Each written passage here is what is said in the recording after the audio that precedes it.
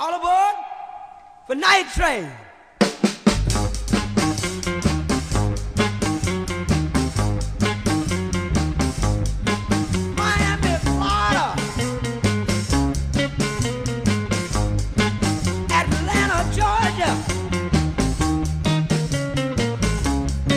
Raleigh, North Carolina.